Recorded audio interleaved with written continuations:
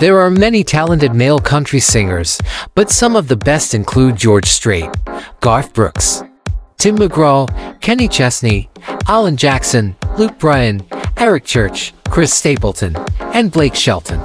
Each of these artists has created a unique sound and style within the genre of country music, earning them recognition and success both commercially and critically. They continue to produce chart-topping hits and maintain their influence on the country music scene.